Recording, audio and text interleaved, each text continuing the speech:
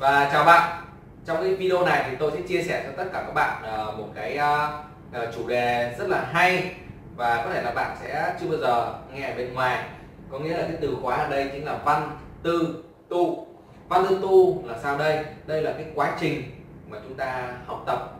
Nó sẽ được diễn biến như thế nào? Và tôi cũng sẽ hướng dẫn cho tất cả các bạn biết được rằng uh, cái cách để làm sao để, để chúng ta có thể đạt được cái sự thành công nhiều hơn so với những người khác và tôi thì là một người rất là tập trung hiệu suất làm việc các bạn biết không ạ?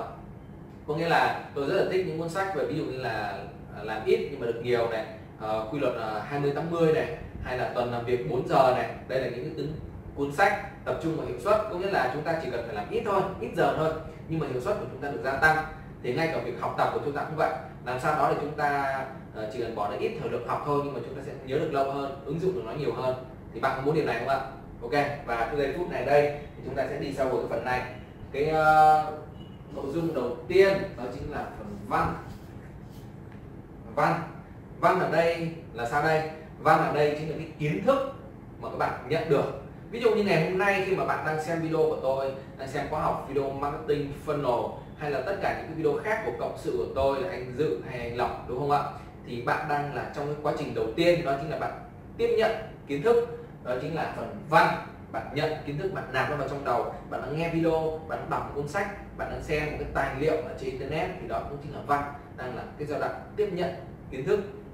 Và trong phần uh, tiếp nhận kiến thức này thì ai tiếp nhận kiến thức đầu vào cũng giống như nhau thôi. Nhưng quan trọng là cái phần đầu ra kết quả cuối cùng là ai sẽ là người có kết quả thông qua kiến thức mà họ nhận được đúng không ạ?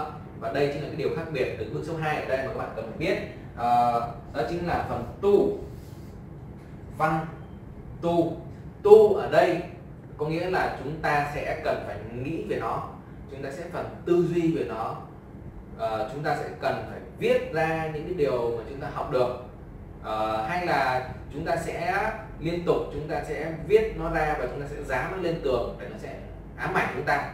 Nhưng mà cái từ khóa đây có nghĩa là chúng ta tu đây có nghĩa là chúng ta sẽ nghĩ về những cái kiến thức mà chúng ta học được nghĩ về những cái điều mà chúng ta đã tiếp nhận được nó vào trong não bộ chúng ta bạn hãy tưởng tượng đi à, nếu như mà chúng ta học kiến thức này xong nhưng mà chúng ta không có phần ôn lại bài chúng ta không có nghĩ về nó chúng ta không có tiếp xúc những cái kiến thức này thêm một lần nữa thì có phải là chúng ta sẽ dễ dàng chúng ta bị quên nó trong khoảng uh, 3 ngày hay là uh, 7 ngày là chúng ta đã quên hết 100% kiến thức mà chúng ta học được đúng không ạ thì cái phần đây là phần vô cùng quan trọng có nghĩa là khi mà chúng ta kết nạp được kiến thức rồi thì cái việc tiếp theo là các bạn cần phải ghi nó ra và dán nó lên tường.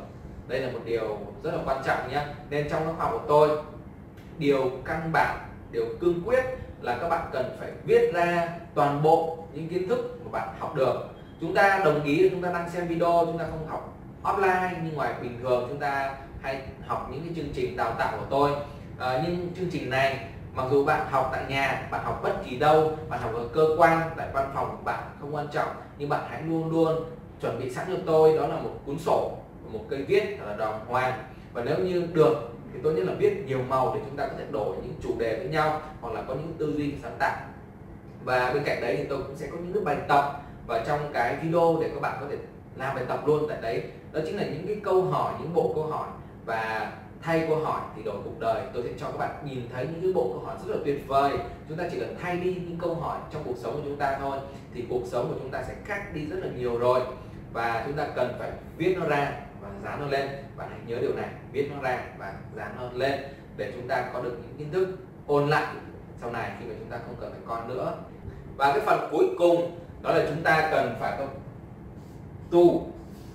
Văn tư tu và cái phần tu này có nghĩa là chúng ta sẽ ứng dụng nó chúng ta sẽ ứng dụng nó vào trong cuộc sống. Và phần văn là tiếp nhận tiếp nạp kiến thức. Phần tư là tư duy suy nghĩ về nó. Phần tu có nghĩa là ứng dụng nó thực hành nó hành động nó. Và trong uh, cuốn sổ của chúng ta thì luôn luôn phải có cái phần hành động.